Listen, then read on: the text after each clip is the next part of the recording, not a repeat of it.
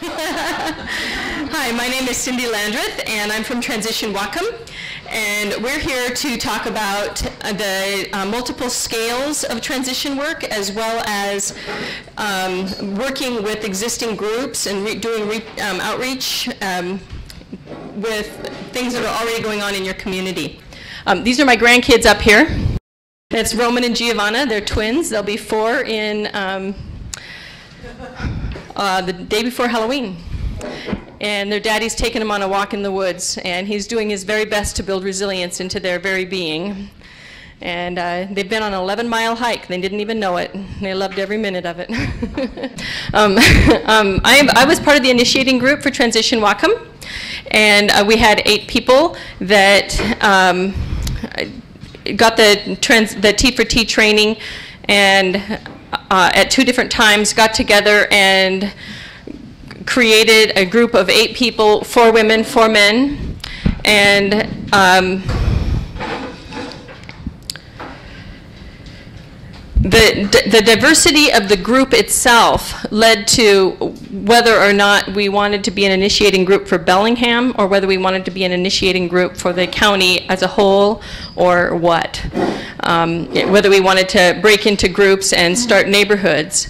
Um, we decided that we wanted to focus a lot on um, working together as a group because we, for, for several reasons, which I'll get into in a little bit. But I was part of that initiating group. My, my personal passion for this transition work is a lot to do with the fact that we need to do the transitioning at the very smallest of levels. So if you think about multiple scales, that's where it all started for me as and sold me on this work. This is just so important. Whatever we do out here at the larger scale won't mean anything if the very seed is is not strong. So uh, multiple scales starts starts there. Um, so that's a little bit about me and the transition movement itself. Um, I'm also a permaculturist, which helps me frame a lot of the decision making that I do as I'm part of the Transition Town movement. It's a critical piece to me. I'm also a residential designer, and a, pattern language happened to be one of the books of my dreams when I was in college. I studied Christopher Alexander for years, and then was so thrilled when Rob Hopkins discovered him, and I can't wait to see what's going to happen from there. Um, now back to Transition Whatcom. Uh, Whatcom County is uh, 200,000 people, and it seemed a little silly to start with a seed that was that small, or excuse me, that large, when I'm talking about how important it is to start small. But Whatcom County has already got um, Sustainable Connections was birthed there. I'm, you know, many people are familiar with that. It's a buy local campaign. It's a, um, a business, sustainable business practices. It's um, food, connecting the food in the restaurant, or the farmers in the restaurants. If they're already doing so much work. In fact, my husband and I were part of the uh, founding board members of that organization. So um, there was that going on. There was the Farm Friends going on. There was the uh, resources going on, which was in the schools educating. There were so many things going on already that we knew that as soon as we brought this forward, it would be like we, we would never be able to keep up. We needed to start at a, at a teenage level instead of at an infant level level. But at the same time, we were a young group. We needed to also start as a, you know, as an infant and just begin this process. And so we were having to hold both at the same time. How many in here are trying to do anything like that, where you're in a large community and a tiny community at the same time and make decisions for both levels? that was constant confusion, constantly trying to figure out, okay, which level are we at? And if you can bring that, here's my one piece that I would say, if you can bring that to the awareness of each decision you're making, which level are we talking about? Because you'll, you'll make your meetings go a lot smoother, less, less arguing, because you don't know who, what, what your partners are thinking of. You know, make sure you're all talking about the same level of scale. So um, Whatcom County is, you know, it does have 200,000 people. The city of Bellingham has um, about 80, 85,000. Um, we're very lily white. We have um, oh, 1.1% of the population, I think, is black. 3.8 uh, is Latino. 3 is Asian, but pretty white, pretty rural. Um, and uh, the, the diverse uh, diversity that you see in most counties where the urban and the rural are real different politically as well, or their lifestyles are at least different. Um, so our initiating group had members from the rural, uh, count, the rural areas as well as the um, urban areas. So that was also an indicator for us. Why did we want to be a hub? That was pretty important. We decided we wanted to be a hub was um, we wanted to give the message that we all are part of this. Whatcom County needs to think of itself as a whole because the cities need the county, the rural areas, we need the farmlands. It also is giving the message that we will stand up for the farmlands and protect the farmlands. We all need them. It's, you know, there, there's a, so much, um, so much power in uh, when, when somebody has that feeling of working together and finding common ground where you didn't expect it. So we wanted to frame it right from the go-ahead, that we're all in this together. We need energy. We, the whole county needs energy. We can start it at micro level, or we can start it at the county-wide level, or we can work at it both levels. We also had, I forgot to mention this, we also had an, an energy descent, act, excuse me, uh, yeah, an EDAP, I guess, but they called themselves ERSPO. But there was a team already formed that was trying to create an energy descent action plan. At least that was their initial idea going on with the county government and the city government. It, it ended up with basically saying, watch what Transition Whatcom is doing. That was the message, and then they let it go. So hope, a lot of those people are part of the Transition Whatcom group. So they are still doing that work.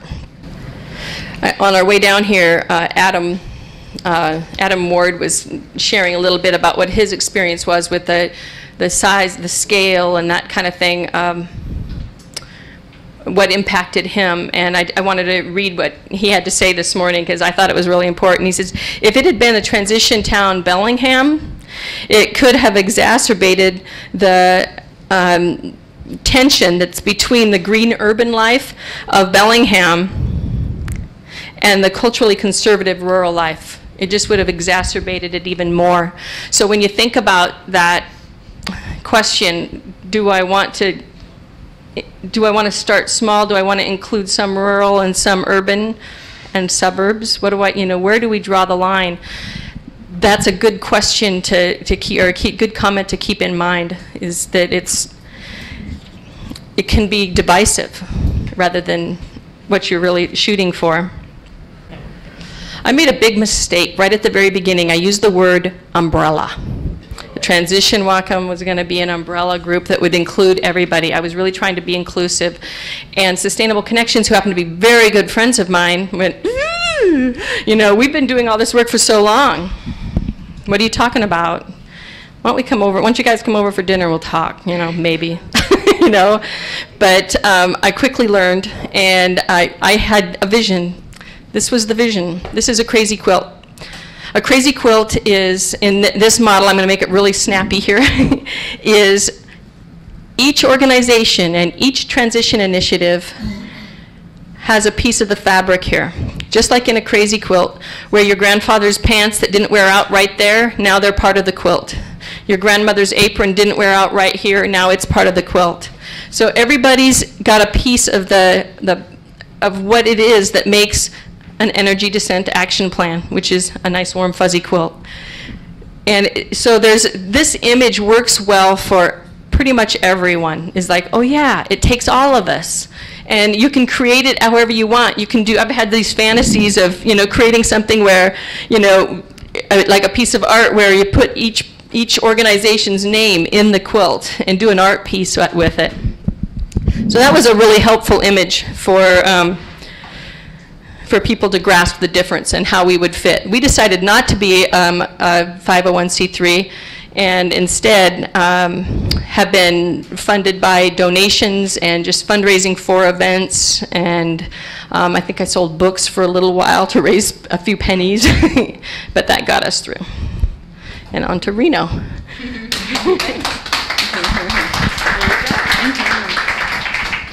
Thank you, Cindi. I'm Jana Vanderhaar. I'm part of Transition Reno.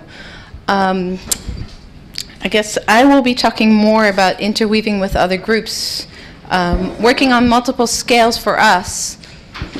Reno is a very diverse community. We have the richest of the rich retiring in Nevada because there's no taxes. um, and we have the poorest of the poorest living there too. So you can, you know, down the road is the trailer park and up the road is the mansion. It's really diverse. We have a lot of ethnic diversity. Uh, we have a huge university there that brings in lots of people all the time. So there's a, and then of course we have gambling. Let's not forget that. So we have flux of people always coming into town. But within that, there is a big um, um, kind of a, a sustainable minded community and um, which is why I live there because I, wouldn't survive without that. But uh, many of us in the initiating group um, have backgrounds somehow related to that, or permaculture, which of course is also sustainability. Um, interweaving with other groups, I think when you start an initiating group, that's what you're doing. You want to create a group that has experience from all these different backgrounds, and that's what we have. We have people, permaculture people, we have people that are more um, in um, local food. We have people who are doing energy. Um, people are really into reskilling. Then uh, we have a pilot who has a totally different background. Um, so getting a group together with all these talents, a diversity of talents, so that you can reach out to bigger groups. Um, we just happen to bump into other people in the community that are excited, that understand that oil is a limited resource. And so trying to reach out to general people and explaining to them that we're going to run out and it's getting more expensive, what are we going to do? So what we what we end up doing interviewing with groups is, for instance, this project we did. This was um, this was this was actually um, This was a, a, reach out to the Reno community, to artists in particular, um, talking about what do we envision for our community. So we had an art show, part of Art Town, every July. Uh, Reno has a big Art Town event with lots of music and art and things like that. You can put it back, yeah. And this was our Visions of Future Reno. We just happened to run into people that were enthusiastic about it. Um, we um, reached out to all the artists, sent them an invite saying, we're, we're doing this event, start envisioning, um, sending out information, and here we had a huge artist reception. We've, as an organization, never spent really a penny. We always get someone who donates the place. Um, and we had this at City Hall. We had a big um, reception at City Hall where all the artists represented their work and talked about their vision for the future, which was a really fun event. So every event that we've done, we just happen to meet someone in the community that says, We like that. We want to partner with you. Because, like you said, we're not an umbrella organization. We are not trying to, you know, the, be, be the be a be all the end all you know. What we're trying to do is get the message out to everybody that we're going to run out of oil. Oil's going to get more expensive. Who's going to pay for that? Some people can pay for it no problem. You know but lots of people are not going to be able to pay for that. So how can we as a community get together and share resources so that there's enough for everyone? And that's really what we what we work on on all these projects we can sit back and wait for things to happen, or we can start envisioning, like, what do we want, in our instance, what do we want Reno to look like in five, ten years? Uh, so there's that banner, if you didn't see it earlier. We're really good banner makers, and we, we don't use the vinyl. we hate vinyl because it's a poison plastic, so we just find old curtains and draw them up. Um, so we're actually heading for our unleashing. Ah! and, um, you know, it's so inspiring to uh, go to the tr uh, Transition US website and just get information of what have people done, because the experiences of others is worth so much. So what we do, did is we understand there's lots of groups already doing great things in our community. We want them to be at that unleashing. In fact, we need them to invite all their memberships to come because we want lots of people there. So what we did is we made a big dinner, invited all these local groups, and gave them food, which anyone will show up for food, believe me we invited them for food in, um, in our backyard, and then we uh, told them what we wanted to do at the Unleashing. Again, envisioning a future for Reno. What's that going to look like? And we want them to be there, and they're going to have actually, as a thank you for them to inviting their groups, they're going to, we're going to have a local group parade, it's called. They're going to be able to go on stage and for five minutes explain what their group does and how to get in touch with them. Um, and so we are gearing up for the unleashing. I think that was all I had, right? So um, we'll go next. Who wants to go next? Jim or Cathy? I was afraid you'd say that. okay. Thank you.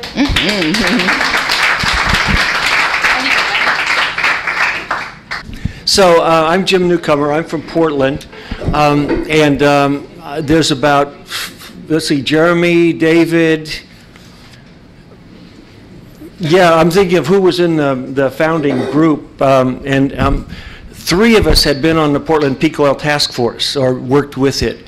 Um, so we had a grounding in the uh, in the sort of research into into the effects of peak oil on a city that you get when you get the transit company company coming in to tell you what transportation or the police coming in and tell you what emergency vehicles will do with, you know, with diminished fuel and what kind of rationing questions will come up, whether it's by price or by allocation, so forth. Um, so we had this grounding in um, what makes a city vulnerable, but also makes it run in good time. So, um, and also, as some of you, the rest of you have, we have, uh, you know, lots of I mean, Portland's famous for its green groups. you can't avoid them. On the other hand, I must say we've had trouble establishing relations with, with many green groups, those who were close to us, the CNRG and um, the peak oil group from which this really started originally. There was a peak oil study group that was ongoing for a couple of years that actually pushed the city to start that peak oil task force. Jeremy was behind that. So we had that grounding, but we're still working on how to reach out to the other green groups. Um, just parenthetically, we're starting an initiative now to have a celebration on 10-10-10. You know, 350.org is having a major worldwide work party that day. So we've uh, put up uh, a piece on their website saying Transition Portland is going to have a celebration. Bring your photos and your video clips, and we'll drink beer and have a potluck dinner, and everybody will, you know, get to show what they're doing, thinking we'll attract lots of green groups. Well, we attracted two giants right away. Um, uh, the Sierra Club in Portland and uh, Climate Solutions, our branch from Olympia, called us and said, let's get together and talk this over because we want to have a celebration too. So fine, great, you know, we're going to support their celebration and we come in uh, and we will through that get to know a lot of the green groups that we're not in and we too came up with this quilt um, uh, thing on our own. So we're so glad that you brought it up because all of a sudden it, it reinforces what we're thinking. We've had um, initiatives going in two directions, one toward the city and citywide um, uh, operations and support of government, and one toward local groups. And we're still experimenting on that. I think we're beginning to show some traction, but it, it takes an enormous amount of work. So first I'll talk about our initiative, our biggest initiative toward the city.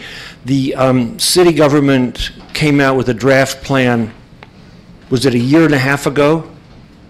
How long ago was this? Okay. April of last year. A climate action plan.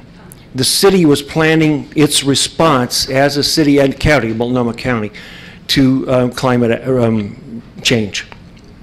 The draft was kind of wishy-washy, and they were holding public hearings around town where people could ask questions, and that was going to be their public input. So we got the idea of holding sessions where people could actually discuss the various facets of the plan and make informed comments. So we did that. It took a lot of work, and it came off really well. We had about 70 people participating on two hot summer nights.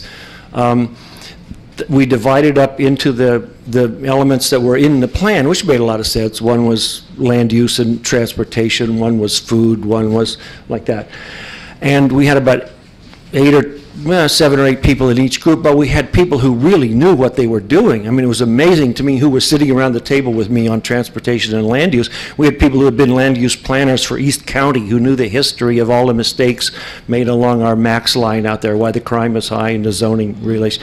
We had people who um, had known about how the trees in various areas had been planted and chosen, and, you know, just everything, people were there. We had the people who had drafted the original plan and then been washed down by the, or washed out by the politicians who didn't want to be too radical. So they knew what had gone into it, and, and um, we came out of that, we took notes, we published the notes to ourselves, and came back the next week and, and, you know, discussed that, and published final reports on each one, plus an overview. And we told the city government, frankly, this is a friendly gesture. We're here to support what you're doing with informed comment. And they took it that way, and they made the most radical changes in a city plan anybody had ever seen. And they quoted us in the introduction. So we felt we'd really done something good for our community. We're now, there's a Portland plan now for the next 20 years that's in formation. They've done a lot better, actually, on reaching out to people in an open discussion format. You know, with like voting that you see on the screen when you do a little click, all that stuff. Um, And we're kind of working toward a participation in that at the last stages. Jeremy, you want to talk about that? Uh. I was just going to do a shout out, but. Um, well, also just in terms of one of the ideas about sharing the nifty things is actually because of the climate action plan forums that Liz helped spearhead. Uh, as part of the Portland plan, they're actually um, that they're actually setting up community group presentations largely because of the success that we did for the climate action plan forums. So basically, you kind of present the model to the city and let them run with it. Um, and was there anything else, Jim, you want me to mention? No, I- Okay, cool. That's just, just what's going on in the future. I want to, oh, yeah, the food initiative, Jeremy. He's, he works for the county. He's like sets, he's like the programmer for the whole county, so he knows everything that's no, going no. on. Well, actually, no. I sit. Um, I'm not in the sustainability group, but I'm. Um, I'm getting uh, sig- signals to scoot this way. Um, but I sit. My cube is like two down from the director of the sustainability group, and lar- in large part because of the food that the the great feedback we provided for the climate action plan. Um, I'm on the steering committee for the Multnomah Food Initiative, and also in terms of uh, talking with city uh, the city officials, they've pretty much only way they how to describe transition that broader effort in the permaculture guild is they refer to me as I am representing the do-it-yourself groups. Th- that's that's the only way they knew they had to translate.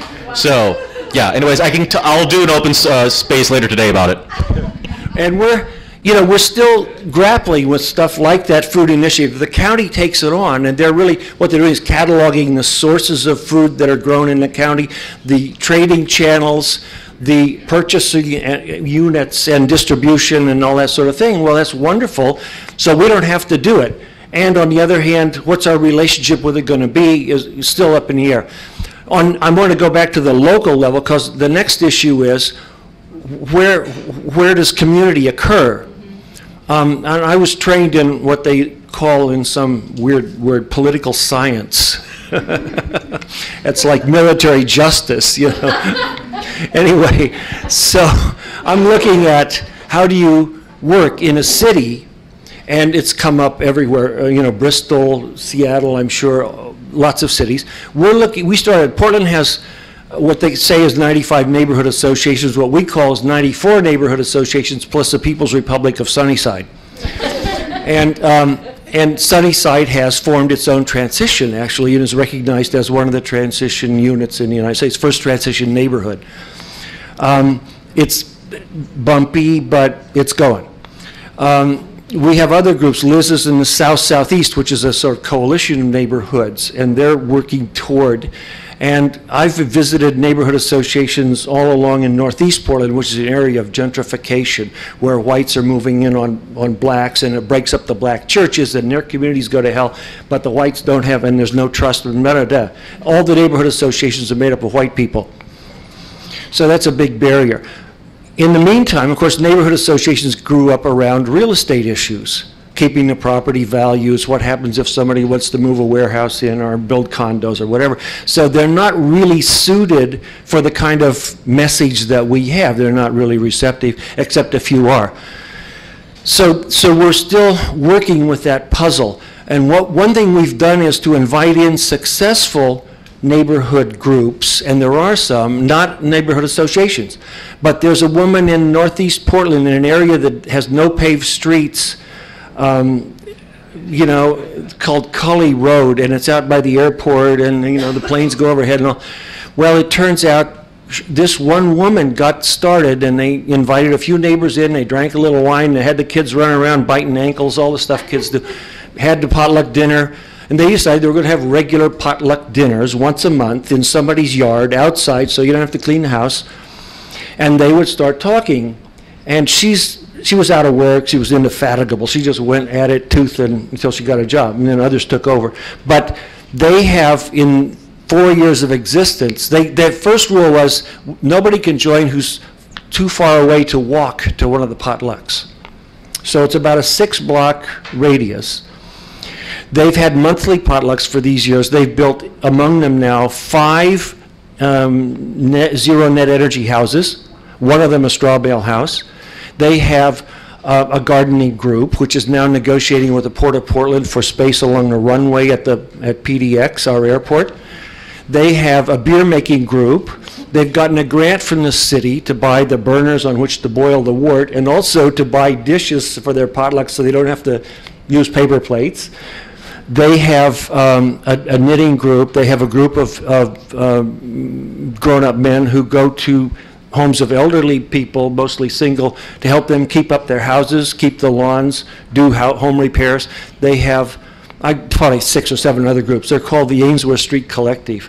And, and they have a website, right. What's it called again? Ainsworth Street, A-I-N-S-W-O-R-T-H, Street Collective. And, um, and I've been to one of their potlucks. I keep trying to get invited back, and I haven't succeeded yet, but uh, probably about 40 families represented. In November, it's freezing. Okay, thanks. It's freezing out there, and they're going at it. And, um, and this is a successful neighborhood group. You notice it's smaller than a neighborhood association. Another of our founding members, Jean Longley, is now working with her street to form a group around emergency planning. And this is the next step that we're looking at, is pulling neighborhoods together around emergency preparations. Uh, Oregon, as you know, has a fault line, or you may not, has a fault line off the coast very similar to the fault line off Aceh in Indonesia, or the one that just went off in Chile. So it has been 500 years since it went off, off the coast of Oregon, so we're expecting a 60-foot wall of water any day. Well. Is it up here too? Oh, okay, so you know what we're talking about. The, the main thing is, there's a, there is a uh, energy around emergency preparation, and it can be done in neighborhoods, and we can bring people together, and that's the first step.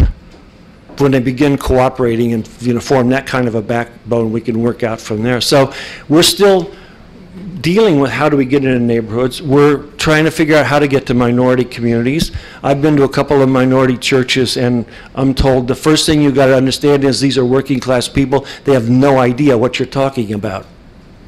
When you say environmental, or peak oil, or global warming, they're like sitting there like, what? So the first thing to do is education and start holding classes or some kind of gatherings around that. So we're still working on that, you know, the series with the Power of Community and all the movies. And, yes, Don't you have a solar cooperative in Portland that's, that's doing community solar projects? there's a couple, yeah, there's been a couple of initiatives. One is through South, Southeast, we have these um, nonprofits that work coalitions of neighborhood associations, and we work closely with two of them, Southeast Uplift and North Northeast Neighborhood Coalition. Southeast Uplift has had that, and Roy, where are you? Here, he's working on a similar thing in Salem, which is going to like blow the state apart. It's just a wonderful commercial venture uh, with co- cooperation from all kinds of wonderful people, and he's in a nonprofit. Do you want to say anything about that?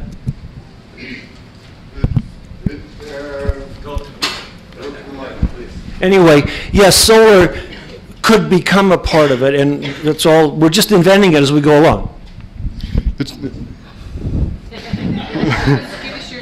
Roy McCormack uh, from Salem, Oregon. Uh, We initially did a solarized com- uh, re- residential project, and uh, we, I don't know if anybody knows solar, but we're selling it at 550 a watt, which is about 25% less than you could get it just going to a business. And there- there's a, talk to me later, there's a lot of benefits to doing it by the community, but we also got a lot of calls from commercial businesses looking for the same price. We were getting same price for small units that they could get for a 10 or 20 or 80 kilowatt system. So they wanted in. So now we are creating a whole new model for delivering energy conservation and renewable energy uh, on a larger scale. And uh, we're coming in under 550 for the uh, the solar side of it. It's, it's really exciting. We're getting a lot of buy-in from government, state, uh, the, the states. We just had a meeting with all of our Washington representatives or their, their staff. Uh, the county, the, the, where the school is starting a training program for weatherization based on what we're doing. Uh, we're getting a tremendous amount of buy-in. Everybody's saying, yes, let me in. Is that five fifty installed? Five dollar installed, yes. Yeah. Is there a website attached to Uh, SolarizeSalem.org. We'll get you. Let, let's take the questions later, because we want to get on to one, one more presenter. I want to say, you know, if you think we know, if it sounds like we know what we're doing, we don't. We're still out there on the edge. And there's three or four other things I meant to say, and I just haven't been able to, but I'll turn it over to.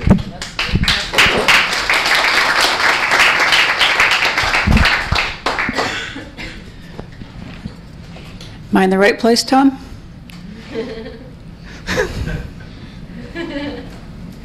I don't promise to stay here. And I'm Cathy from uh, Transition Seattle. And I have been since this morning hungry for that prayer. So I would like to ask you all just to take a deep breath, lower your shoulders down, close your eyes if you want to. Get into your breath again. Breathe. O great Spirit, earth, air, fire, and sea, you are inside and all around me.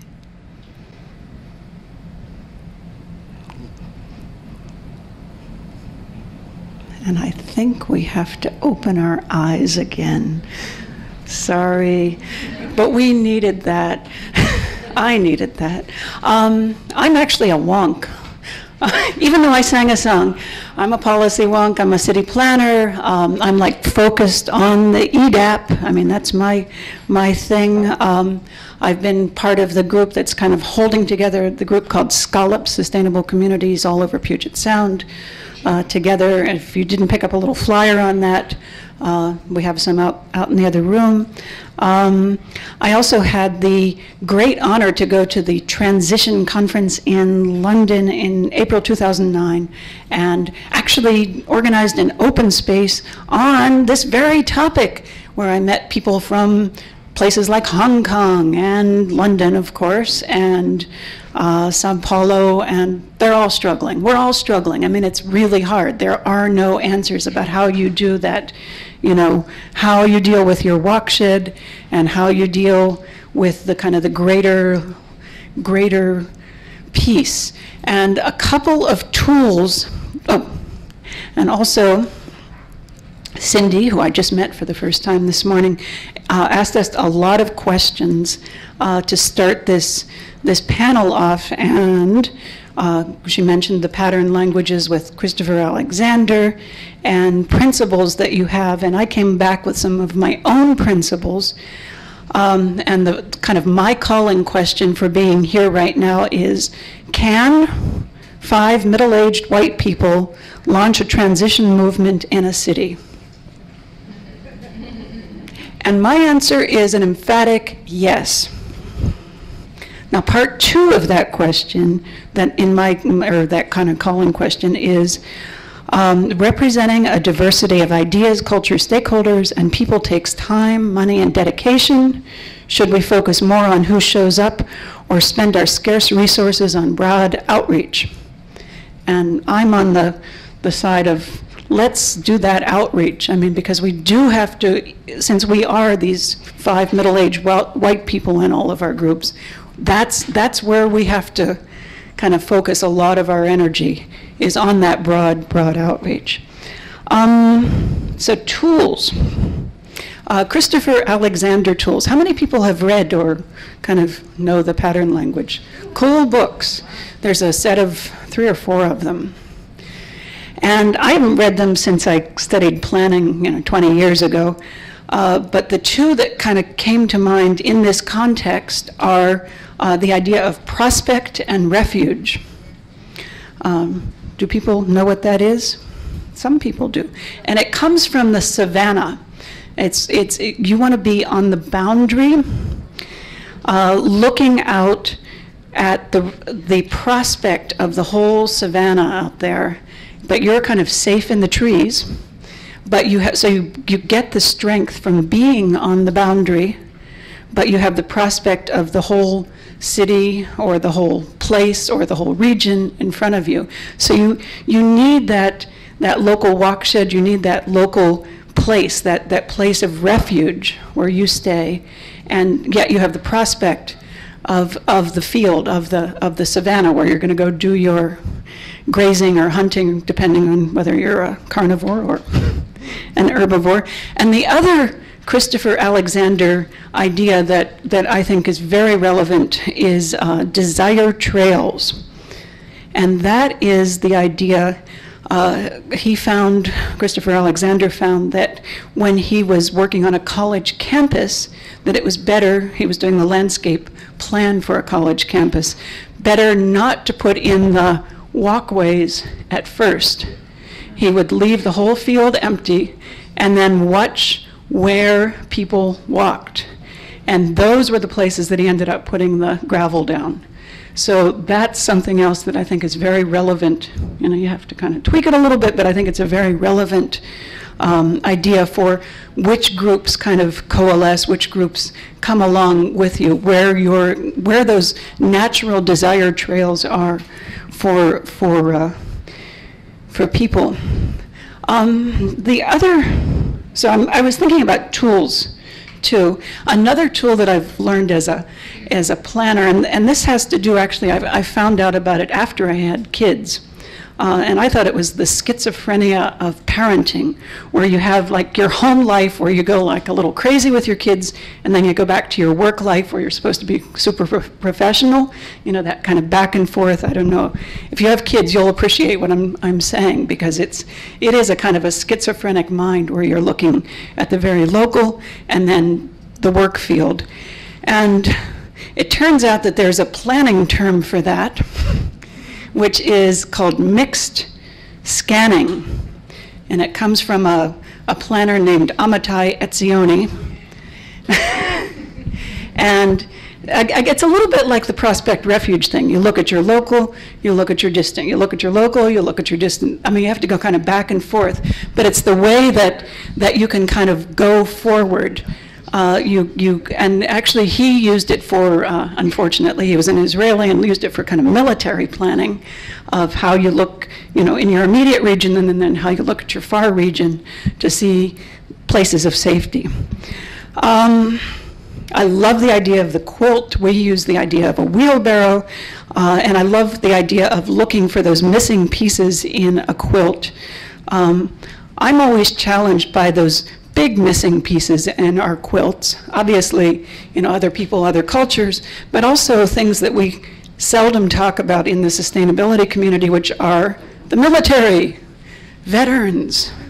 Um, you know, I think we're, we're a little shy, some of us, of religious groups, particularly the Mormons, which I'm like totally, you know, bring in the Mormons because they understand sustainability. Huh? They're there. And now the Tea Party. How can we use those kinds of energies? You know, how can we use the energy of these very organized, very passionate people who, you know, we have some common threads with all of them.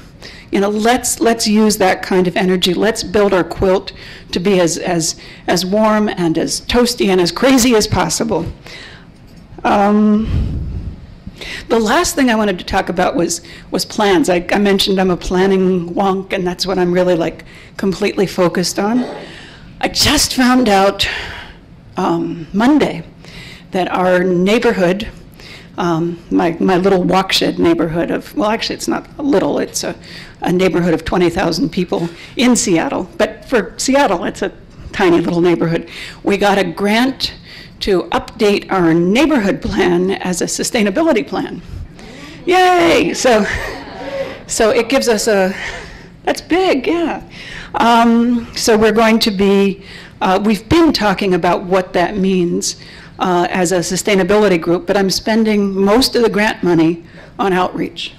And I'm hiring somebody to, to be working with the low income and the people at the food banks and other people who can work with the school groups and other people who can work with, even though we're kind of, we think of ourselves as a white neighborhood with a Spanish speaking population and really pull in a lot of those ideas. I like a lot of the things I learned in the last session in this room about pulling in ideas and getting people really involved in, in kind of big scale uh, plans. Um, I've been really involved. I know it's time to finish. Uh, for the last, for over the summer, the thing with with Portland and Vancouver and Seattle, and probably some of your other communities too, is that we have a very progressive um, city government, but they could always be more progressive. So I've been working with something called, that's a city initiative called the Carbon Neutral Community Forum. And there, we just presented our eight different areas, and there were about 300 people involved in it. Uh, but we presented them on land use, to, this is to the City Council, land use, neighborhoods, uh, energy, green careers, transportation, food systems, zero waste, and youth. We had a couple hundred people show up for the City Council presentation, and we're going to use that kind of forum uh, to help update the comprehensive plan in the city of Seattle because I really believe that, you know, why not use the channels that they're opening for us? I guess that's the other concept that I wanted to pass along to you, which is the camel's nose. you know about the thing, you know, the camel puts its head in the tent and oh, you haven't heard this? Oh, so this is this is this old Arabic kind of thing where a camel comes to the tent and the the the sheikh who's in the tent says, you know, I don't want you in here, and the camel says, but my nose is cold. I just want to keep my nose warm. And then the camel comes in with its head and you know goes through the whole thing. And finally the whole camel is inside the tent. And that's how i kind of look at what we're doing with uh, updating our comprehensive plan. They've given us they've given us the nose with the uh, carbon neutral neighborhoods and we're going to get the whole camel in the tent. So thank you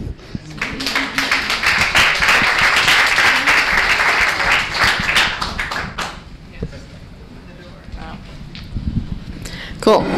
We were hoping to have about 20 minutes in- for Q and A, um, but I wanted to point out a couple of things. One is that um, what Carolyn said earlier today, what the transition um, US is doing is, you know, is inspiring and um, encouraging, networking. Um, that is pretty much what Transition Whatcom has decided their role is to. Once we got a few transition initiatives going in Whatcom County, we now have 14 transition initiatives going. And so our we're no longer an initiating group, but we're an operating group. And the operating group now, that's their job, is to inspire, encourage, network, and be a resource for all of the initiatives to start going. And um, also, we really did try following the handbook verbatim.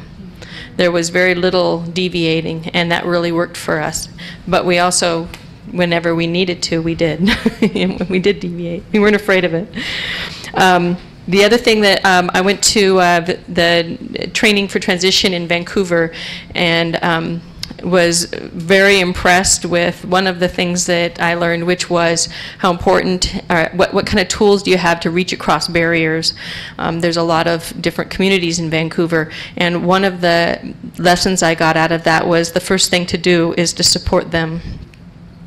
So in our community, that might mean um, there's a little town called Marietta that they've been struggling to be able to keep their lands. It's in a flood zone, but it's they're mostly Native Americans. So find out what their issues are, the people that you want to connect with. Find out what their issues are and go to bat for them. Build their trust. That that's been um, probably one of the most profound ways that I have yet heard on how to reach across. The other thing that I wanted to remind us all of is, is, most of it, most of the problem that's been caused is probably by the people with the lighter skin. So, you know, we're the ones that need to do most of the work, and focusing on our own work is probably more relevant than anything. Um, also wanted to mention the crazy quilt, the stitching. It's all about relationships, and that's in a crazy quilt. The history of the crazy crazy quilt, it, it's rich, but the it the, one of it, it's it was a tool for um, mothers to teach their children how to do embroidery and do stitching and stuff. So it's about building relationships, and that's and, and apprenticing. So that's another piece that fits for me for that crazy quilt. Um, the other one was bloom where you're planted. If you want to know whether or not to be a larger group or a smaller group, who are you? You know, find out who's in the room. Where are your passions? It's not, you know, nothing is about should and shouldn't, you know, or there's one right way. It's like, well, where are our passions at? What do we have energy for? And go from there. And um, that's it. How about some questions? And uh, Jim, Jana, Cathy, or me. So, um, Janaya? Janaea. Janaya. Cindi, we noticed on the, uh, the unleashing video that you have on YouTube from your great unleashing, an enormously long list of supporters.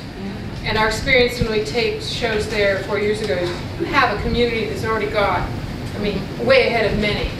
And so when you talked about being an umbrella and you already have all that support, how are you working now in your new structure with all the existing groups? Did you did you map them as assets? Did you know what? How are you building the relationships or positioning yourself with those existing groups? At the very beginning, what we did was we, um, we did a- an outreach, had an outreach committee, we called it Playing Well with Others. And, and we, we set up meetings and we wanted to find out about each group. You know, what, what, what are your mission and vision and a face-to-face? And, and then if there was time, we would share who, who we were. But the focus was on finding out more about who they were and, and to see where we could build a bridge, you know, where, where we have common ground and where we might be able to partner with doing different events. One of the things that occurred out of that was the Center for Local Self-Reliance, which you can Google and find out what that is. But it's basically an urban grange. Um, it- It's a, a park department-owned piece of property. They were going to sell the house off. A group of people got together and said, no, no, no, don't do that. And uh, we'll buy it. With what? they started doing the fundraising. The city said yes. They got the fundraising. That they got the house, and it's going to be a site for learn teaching people how to garden and how to do different. It's about reskilling. Their their whole focus is reskilling. Well, now that Center for Local Self Reliance is um, likely to be the Transition Initiative South Bellingham. So we're just going to use that for the name. It won't be a transition name. It'll be Center for Local Self Reliance, and all of the the goals that they're doing is the same thing we're doing. So hey. So we've, we've just moved right in with them and supported their work. So that's some of the ways that we're playing well with others. um, as far as umbrella versus um, crazy quilt, the crazy quilt is absolutely the way we have been stitching ourselves together. We've been um, talking a lot about um, different projects we can do with sustainable connections. For instance, we're finding some uh, the financial issues because they're a business network. So what can what are we doing with the economics? Well, they become speakers for us. They become uh, a potential partner for micro lending. You know, things like that. So that's how we're doing it. We're stitching. We're doing the stitching. Yeah. And Jan, you, Yeah, I, uh, I appreciate Jim's comments, and I appreciate also how important neighborhoods are in all of this. I live in Eugene, and uh, in, in, a, in a way different from Jim, I found that our that our uh, city neighborhood program has been a, a very fertile place to get the, the nose into the camel's tent because that's what we've been doing in Eugene, and I could I could describe that uh, in more detail. But if anybody wants to ask me a little bit later, you know how we're we're making use of city funds to publish uh, information about permaculture and, and living more local and all that, and, and we're getting city assistance with that because we're working through our neighborhood program, and, and it's and it's uh, it's something that if uh, anybody wants to know more, you know, you can just ask me how we did that. anybody else?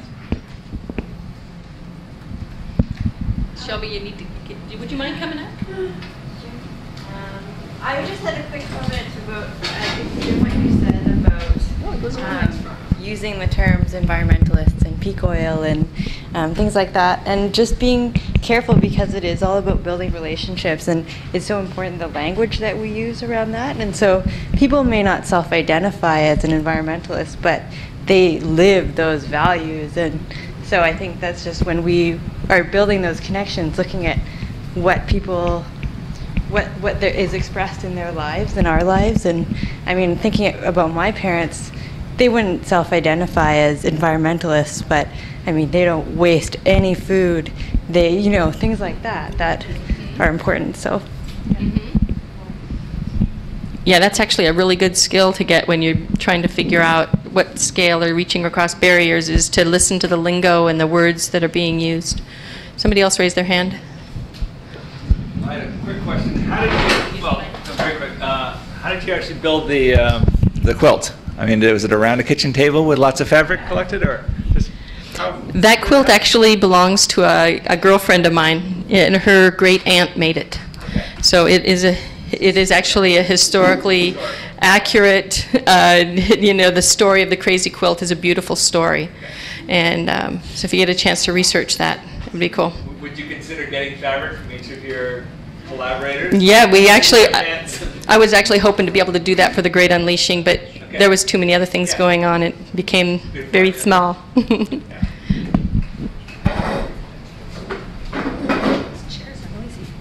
So I'm just curious because I've heard a couple people say that they're not part of nonprofits or anything like that. So what do you do about liability? What do you do about having these events? You know, as things get, um, the economy gets worse, people become even more litigious, and um, they, yeah, I'm worried about those sorts of things. Another good example of partnering. For the Great Unleashing, we had um, Sustainable Connections. um, I believe that was the group that did it. They, they ended up covering by way, they have an insurance policy because they're a 501c3. So they ended up, because of something else that they could do, that was a, I think, oh, no, it was a co-sponsoring trade. So they ended up, their insurance company ended up being the liability insurance for the Great Unleashing. Yeah, I think partnership is, is major with that. Every event that we've done, we've did a film series at the community college, so they took on all that liability. Um, we did this artist reception at City Hall. You know, it's free to the public. It is for the public, so there. And then the unleashing is going to be at the university. They take on the, you know, uh, uh, take that on, and uh, being able to partner with all these groups is really I think is is you know important for that. Um, but then again, I also feel like you sh- that shouldn't become something to limit you. Um, we've done street fairs with uh, collaborating with local food groups and things like that. At some point, you just have to do also, like um, the people powered parade that they did. Um, you know, you just go. I mean, someone might fall and break break something or but that's life. We have to go beyond that. If we are stuck in that fear we're not going to get anywhere. Um, so i think being able to to to um, pass on that positive energy as opposed to focus on the negative is is really important. Of course you don't want to forget all the details, but um, th- that's what a lot of people are missing. Um, and coming to um, the peak oil issue, in our community, um, the, the people aren't as aware as you are. um, you know, Reno population is really oblivious to a lot of things. We, we're not lucky like you know, Portland, Seattle, very enlightened people. So we have to start from scratch. People ask us, what do you mean climate change? What do you mean peak oil? What does that mean? They, we have to start from the beginning, you know, and give them very concrete examples. Um, yep, so that's where we come from.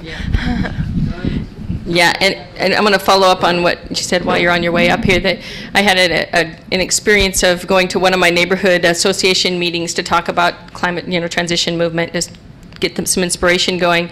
And one of the neighborhoods, which happens to be very family friendly and quite well known, um, you know, multi-generational, everybody's happy, people brought food, there are lots of interactions going on, they just couldn't wait for the, the whole meeting to start happening, and there were multiple presenters, and then the next night, oh, and it was great, well received, and the next night, we went to another neighborhood that was more well-to-do, the, um, the, the whole energy there was you know, arguing over who was going to be the next president, uh, who was going, you know, what sort of, you know, kind of hidden agendas were not being said, and do I have to go through this meeting? Political um, people were showing up you know, to just show their face at the meeting. And um, I asked, you know, at, I, we finally got five minutes at the end, and they said, you know, so I said, well, how many people know, trans, you know, what uh, climate change is or peak oil? No one knew what peak oil was. This is well-educated,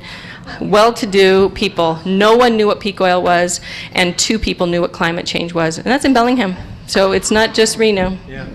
I, I actually live in Lake Oswego, which is a um, a well-to-do suburb in Portland. I live at the ragged edge, but still, I went to my neighborhood association meeting, and that was the first reaction. What? Second reaction was because I went to the second meeting. Okay, you're now sustainability coordinator. We got to have one. so what I started to do in my neighborhood association is, okay, let's have a picnic this summer. So that's the first action that the that we've taken that isn't about signs along the streets or parking in front of somebody's house or that obnoxious church over there that finally sold the da da da, you know, that kind of stuff. And so you begin, there's a little kid, there's a song that a woman I know wrote about a little boy in Africa who had was born with HIV positive blood and he gave incredibly moving speeches to thousands of people and somebody asked him how do you do this and his his reply was You do what you can with what you have and the time you have and the place you are. So that's wonderful. But, but I want to, it's not the ending, I, because I'll sing it again when we get there. Um, you ask about liability, and, but it brings up the whole issue of responsible funding, which has been, an, in Portland anyway, a, a long unresolved issue. What do we do about money? Do we want to have money, dirty our hands with money at all? Um, should 501c3 is, is a waste of time or it's necessary to move forward? Um, and we have never solved these issues yet, but I just want to share that because some of the rest of you may be in that quandary as well. And there are people on both sides of those issues. And it, you know, my own position is it limits what we can do. So we've just heard about in the session in there about a, a sort of a side group and we've had something like that idea too, where, you know, the Friends of Transition PDX, which could incorporate as a 501c3, fund activities, gather funds, and, and, um, and hold the, the liability as well. So there's, because we've got to dig our way out of that issue, or we're never going to have in a city, we're never going to have the, you know, ability to get publicity out, for example, or to conceive of big events that, without somebody telling us what to do. We're about uh, 11 minutes over. How are we doing, Leo? Is, should we stop it or should we? Okay. Sorry. If you have any more questions, it's Jim, Cathy, Jana, and Cindi. Thank you, Cindi. That was a great panel.